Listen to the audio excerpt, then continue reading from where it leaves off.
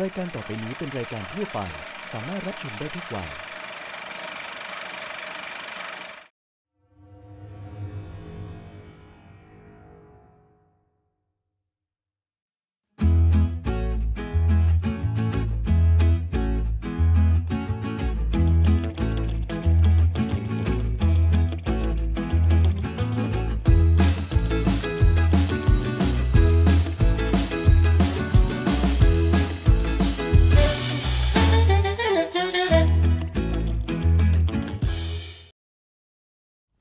สวัสดีครับ สวัสดีค่ะ now you're watching English Chit Chat ได้เวลามาเรียนรู้ภาษาอังกฤษกันกับ English Chit Chat เมาส์ไปเรียนไปไม่มีเบื่อกับเราสองคนตูนวรัตน์และนุ่นนัชนันนะครับค่ะวันนี้จะมาหมวดหมู่ศิลปิน ดารานักแสดงอื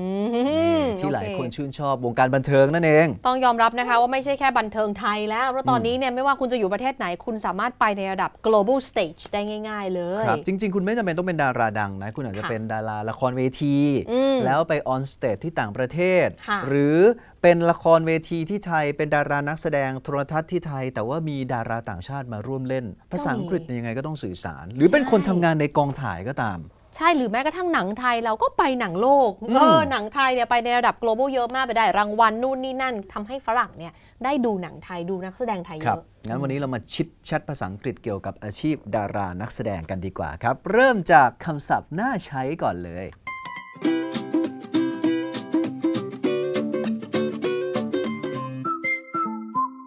คำศัพท์ในหมวดหมู่ที่เรียกดารานักแสดงเนี่ยมีคำไหนบ้างที่น่าสนใจ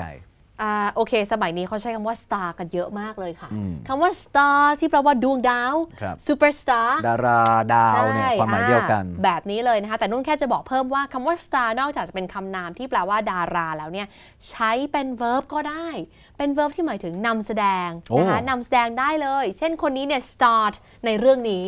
อย่างเงี้ยเราก็จะเจตาอแบบบ่อยเติม ed เงี้ยเหรอใช่ก็คือคนนี้อ๋อไปนำแสดงในเรื่องนี้แบบนี้นะคะเพราะฉะนั้ครันบไม่ต้องแปลกใจ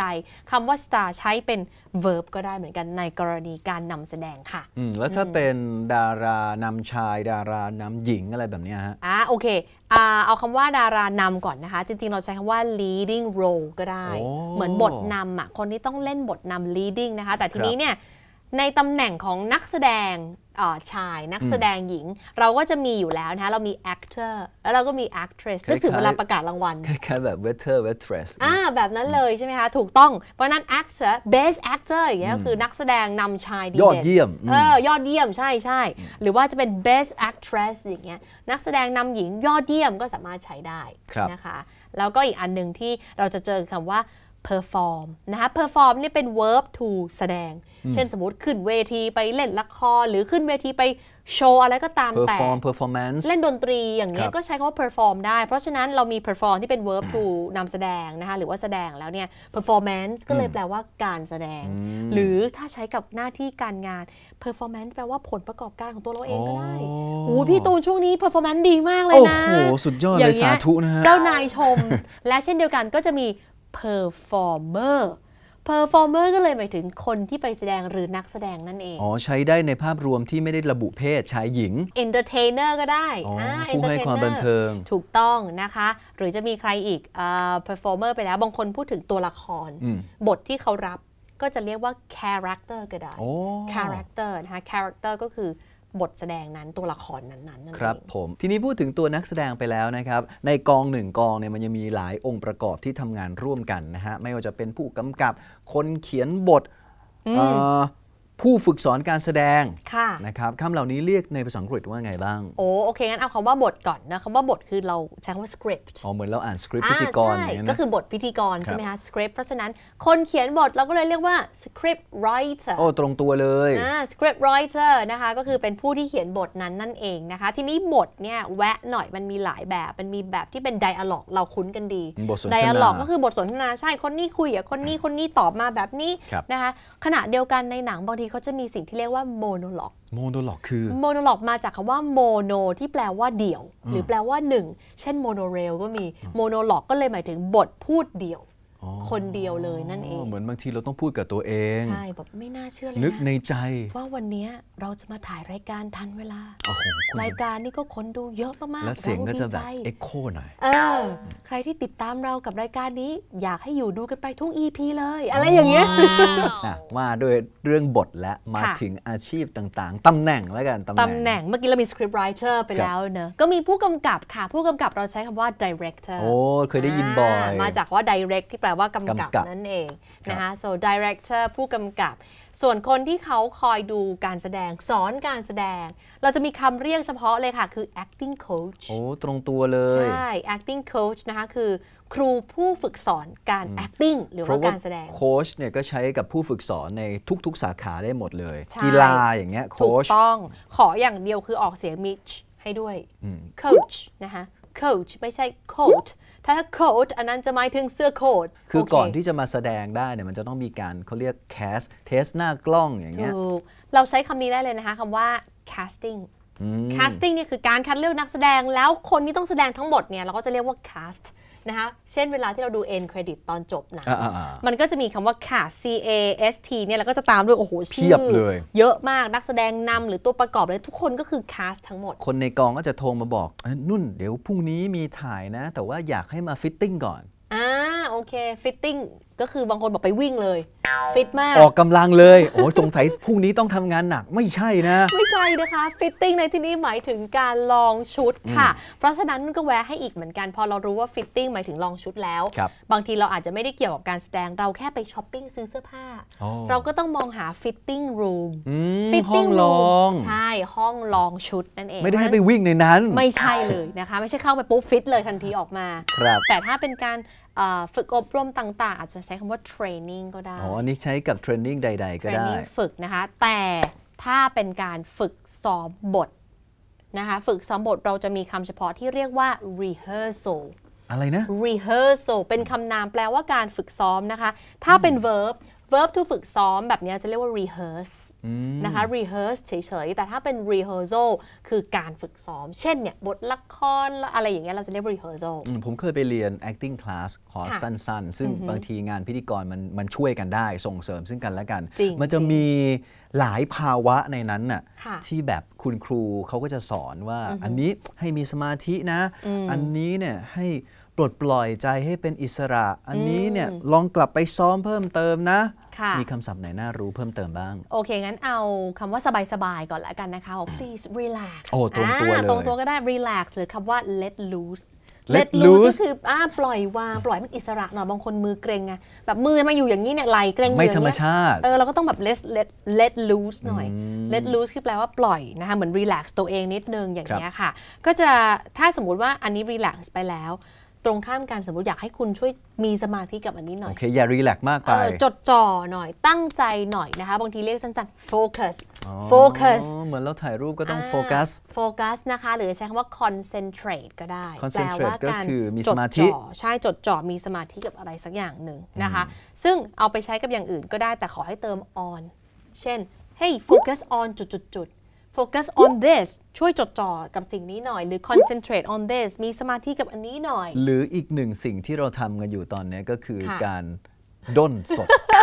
ด้นสดในการร้องเพลงเราก็จะได้ยินคำนี้มาก improvise ใช่ improvise นะคะ improvise ก็คือแปลว่าการด้นสดนั่นเอง ครับทีนี้ขอด้นต่ออีกหน่อยแล้วกันเชิญครับเรารู้เรื่องของบทไปแล้ว ตำแหน่งหน้าที่ไปแล้ว สถานที่สักหน่อยไหมอ๋อนะคะ คือถ้าเป็นโรงหนังเนี่ยไม่ติดหลายคนก็เรียกว่า cinema อืม นะคะ cinema นะคะแปลว่าโรงหนัง บางคนเรียก theater theater ถามว่าใช้ได้ไหมใช้ได้อันนี้นะคะ ไม่ค่อยได้ยินนะ แต่ว่า theater เนี่ยเอาตรงๆอ๋อภาษาไทยนะ theater theater โอภาเคษาอังกฤษเราจะเรียกว่า theater theater มีความต่างนิดนึงคือ cinema cinema เนี่ยคือยังไงก็คือเอ่อโรงหนัง เท่านั้น ใช่แต่ theater หมายถึงโรงหนังก็ได้ ขณะเดียวกันหมายถึงโรงละครก็ได้อ๋อละครเวทีเอ่อหรือว่าภาษาไทยเขาเรียกอะไรนะ โรงมหรสพอืมอ่าคือที่ที่มีการแสดงมีละครเวทีเล่นดนตรีโชว์อะไรก็ตามเช่นแต่คุณอาจจะไปดูทั้งคอนเสิร์ตทั้งโขนอืมก็เป็น theater ได้หมด พวกนี้เป็น theater ทั้งหมดเลยนะคะ theater บางคนเคยเจอสะกด 2 แบบเลย เทียเนี่ยเหมือนกันแต่เตอร์เนี่ย T R E หรือ T E R กันแน่ค่ะพี่อะเคยเคยมีแล้วคนจริงถามๆต้องเขียนแบบไหน จริงๆก็เขียนได้เหมือนกันแต่ว่าถ้าเป็น T R E เนี่ยนะคะ จะเป็นการสะกดแบบ British English อ๋ออะอย่างที่อังกฤษเนี่ยมี theater เยอะมาก เพราะเขาชอบ play play ในที่นี้ไม่ใช่ verb to เล่นนะอืมอืมอืม play คือคำนามที่แปลว่าละครเวทีโอ้ที่อังกฤษเนี่ยโดยเฉพาะใครไปเนี่ยนะคะ จะมี theater ที่มันโชว์แบบมี play เยอะมาก แต่ถ้าเป็นอเมริกานะคะก็จะเป็นแต่ถ้า การเขียนแบบ ER ใช่ไหมถูกต้อง ถ้าเกิดว่า theater ลงท้าย er เป็นแบบอเมริกัน ซึ่งไม่ใช่แค่คำว่า theater นะคะ ทุกคำที่เป็นเตอร์เตอร์อ่าอ่าอ่าอ่าแท็กซี่มิเตอร์ครับ TRE หรือ TER ไปดูได้ 2 แบบนะคะเซนติเมตรอะไรอย่างเงี้ยคือใช้ได้หมดนะคะ ความหมายจะเหมือนกัน อยู่ที่ว่า British หรือเมริกันใช่ค่ะครับ ทีนี้มาถึงประโยคที่จะนำไปใช้กับคำศัพท์ต่างๆ ที่เราเรียนรู้กันนะครับ มีประโยคอะไรบ้างไปดูในช่วงประโยคน่าจำครับ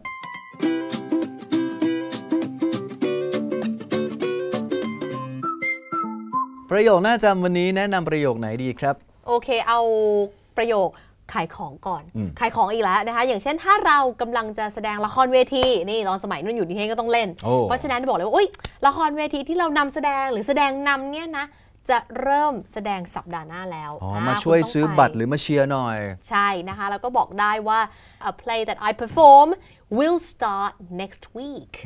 จะเริ่มแสดงสัปดาห์หน้าแล้วนะ so uh, you can use this you can say that a play that I I perform will start next week ไปซื้อบัตรด้วยนะคะ จะ Get the เริ่ม ticket แสดงสัปดาห์หน้าที่จะถึงนี้แล้ว ใช่แล้วนะคะใช้คำนี้ได้เลย หรือจะเอาอีกคำหนึ่งที่บอกกันไปตอนต้นก็ได้คำว่า star แน่ยังจำได้ไหมคะดาราวันี้แจกกันแหลกเลย star นอกจากจะแปลว่าดารา ใช้เป็น verb ได้เลย verb to นำแสดง เช่นเราบอกว่าโอเค I will be starring in a play performing next week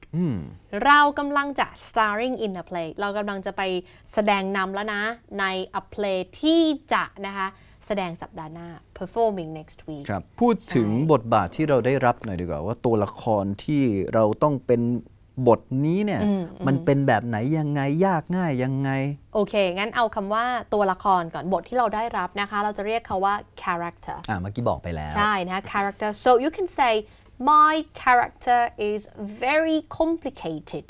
คำว่า complicated ก็คือซับซ้อนมาก เพราะฉะนั้นเนี่ย โอ้โห character เรานะ ซับซ้อนชะมัดเลย เดี๋ยวขอไปโฟกัสก่อนนะ จริงซับซ้อนนี่ใช้กับบริบทอื่นได้นะใช่เช่นแบบว่าเอ่อ relationship ความสัมพันธ์ก็ได้ที่มันแบบ complicated อธิบายยาก นี่ไง Facebook ก็จะมีให้เขียนเลยอ่าว่า relation ของคุณตอนนี้ relationship เป็นยังไง complicated ไม่รู้จะพูดยังไงอดีธิบายยากครับบอกไม่ถูกว่าคุยกันหรือยังไงเออเออนะคะหรือคุยกี่คนก็ไม่รู้เออโอ้โหแย่เลยทีนี้ไม่ดีนะเพราะฉะนั้นสามารถใช้ได้นะคะ บอกว่า character ของเราเนี่ยมันเอ่อซับซ้อน complicated อ่าหรือจะบอกว่า oh I need to focus on my script อ่าเมื่อกี้ที่บอกไปโฟกัสใช้กับ on เสมอ so I need to focus on my script แปลว่าโอ้โหพี่ตูนนุ่นต้องจัดการคือต้องดูโฟกัสอยู่ที่สคริปต์นุ่นก่อนนะ บทนุ่นก่อนนะอย่าพระเพิ่งะไรยุ่งตอนนี้นะใช่อย่าเพิ่งยุ่ง because หรือจะบอกว่า since ก็ได้ because or since my character is very detailed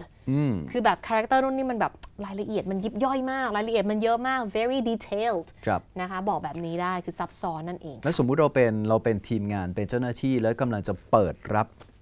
นักแสดง เปิดเข้ามา audition หรือว่ามา casting เนี่ยจะ announce จะประกาศไปว่ายังไงดี โอเค เอาคำว่าเปิดก่อน เปิดเพื่ออะไรสักอย่างหนึ่งเราใช้คำว่า open up for จุดจุดจุดต้องมี up ด้วยนะคะ open up for จุดจุดจุดเช่นเอ่อเนี่ยพี่ตูนบอกว่า we will open up for casting tomorrow เราจะเปิดรับนะคะ เปิดรับการคัดเลือกการ casting ที่เราสอนไปตอนต้น พรุ่งนี้ เพราะฉะนั้นอย่งงี้ยคุณมาแคสได้มาทดสอบได้ ใช่เลยนะคะ ถ้าใช้กับกรณีอื่นบ้าง เช่น สมมติเนี่ยรายการเรา